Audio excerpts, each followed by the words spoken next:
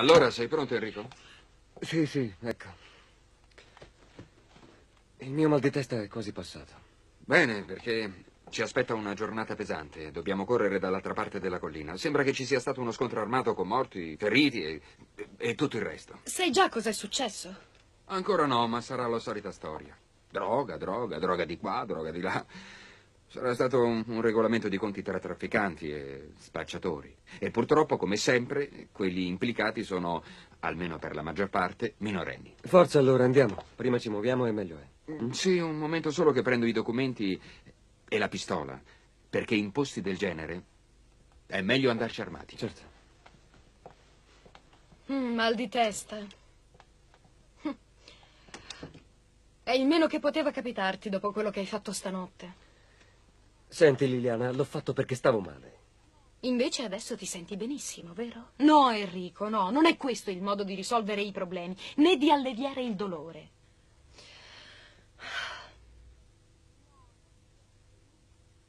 No, Enrico, è inutile che mi guardi così, perché sai bene che ho ragione.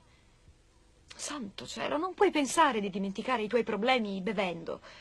Ti dà sollievo sul momento, dopo però ti fa stare peggio. Scommetto che... che neanche ti ricordi quello che hai fatto. Guarda, guarda chi si vede. Enrico. Proprio con te desideravo parlare. Parla pure. Preferirei farlo in privato, se è possibile. Eh, sì, sì, certo, stavo giusto per andarmene. Ci vediamo dopo, Enrico. Ciao. Enrico, andiamo. Senti, ho un attimo da fare. Ti raggiungo fra cinque minuti. Va bene, ma non prendertela troppo comoda. No, no. Come vedi ho fretta, perciò cerca di essere breve. Anche perché sai benissimo che a me non interessa affatto parlare con te. Che peccato, Enrico. Sì, perché vedi, nonostante tutto, io ho sempre cercato di aiutarti. Aiutarmi? Scusa se te lo dico, ma il tuo è un modo decisamente strano di aiutare. Molto, molto aggressivo. Ma al di là dello stile, Enrico, ammetterai che il mio aiuto ci è dimostrato utile. Di fatto, posso darti ancora delle informazioni. Come forse saprai, dirigo io il gruppo che sta cercando tuo padre. Mio padre? Dimmi, dove si trova? A quanto pare non sono io la sua aggressiva. Per favore, Tania, parla. C'è un piccolo problema. L'unica persona che sappia con sicurezza dove si trovi ora tuo padre è Marina Contrevi. Sì, non guardarmi con quella faccia. Non si tratta di una mia invenzione. L'unica persona che sa davvero dove si trova tuo padre è la tua cara Marina Contrevi. Per quale motivo lo sta nascondendo? Che intenzioni ha? Che intenzioni ha? Non lo so. Io credo che stia approfittando della situazione. Non riesco proprio a crederlo. Vuoi sapere come la penso? Marina è convinta di proteggere tuo padre. Non lo consegna per salvargli la vita, ma al contrario così. C'è il rischio che durante le ricerche qualcuno possa sparare e nel conflitto lui potrebbe essere ucciso. Enrico, senti, voglio farti una domanda. Tu non provi alcun disagio per il fatto di essere di essere figlio di Eugenio Mercadante. Eh, te lo chiedo perché, sai, presumo che sia una sofferenza avere il padre ricercato, accusato di, di, aver commesso una serie di atrocità, la madre in prigione per complicità. Ecco, non so. Sarò sincero con te, Ugo. Io non mi sono mai occupato di politica. Anzi, me ne sono sempre tenuto piuttosto distante. All'inizio per superficialità e perché mi occupavo di altre cose.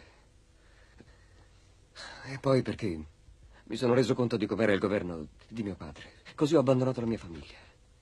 Eppure, nonostante tutto, sono preoccupato. Sono in pensiero per la sua situazione, le difficoltà in cui lui si trova attualmente. E per quanto riguarda mia madre, tu capisci, è mia madre. Devo fare per lei tutto ciò che mi è possibile. Tutto. Sono Marina e... Marina, so che tu hai notizie di mio padre. Voglio che mi dica subito dove si trova. Io... Ho il diritto di saperlo, è mio padre. Io non so niente. È inutile negare. Tania mi ha raccontato tutto. Tania è mi ha pazza. detto che tu sai dove è, anche che lo stai nascondendo. Lei non sa quello che dice, Io pazzo. adesso pretendo che tu mi dica dove sta. Non uscirai da qui se non me l'avrai detto.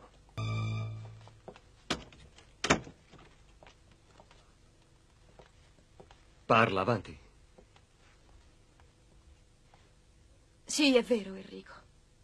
È vero. Sapevo che tuo padre viveva nella baracca dove tu mi trovasti. Perché non me l'hai detto allora? Sapevi che lui era lì e non mi hai detto niente. Enrico, tuo padre stava male. Delirava, era come pazzo. Non so cosa avesse, ma mi accorsi che con lui c'era tuo figlio. Così la prima cosa che pensai di fare fu di convincerlo a dare a me il bambino per riportartelo. Il giorno in cui tu mi hai seguito fino alla baracca ero andata appunto a trovarlo, ma non c'era più. Da allora non ho più saputo niente di lui, te lo giuro. Non ti credo. Non posso crederti e sai perché. Perché Tania mi ha detto che lo stavi nascondendo. Per qualche, per qualche ragione particolare, non so quale. Questo non lo so. Povero Enrico, quanto sei ridicolo. Che ragione avrei avuto per nascondere tuo padre? Avanti, sentiamo quale. Vuoi sapere una cosa? Io non l'ho denunciato, non l'ho consegnato nelle mani dei guerriglieri solo perché non ne ho avuto il tempo. E non guardarmi con quella faccia. Perché in fondo sarebbe stato meglio per lui, sai? Se lo avessi denunciato, a quest'ora non sarebbe in giro braccato come un animale, ma in prigione dove è giusto che stia. Ah, certo, allora. La tua intenzione era quella di salvare mio padre, giusto? Eh? Volevi evitare che lo uccidessero. Ah, certo. Beh, senti, pensa pure quello che vuoi, Enrico. Perché io a questo punto sono stanca di darti tante spiegazioni. Pensa quello che ti pare.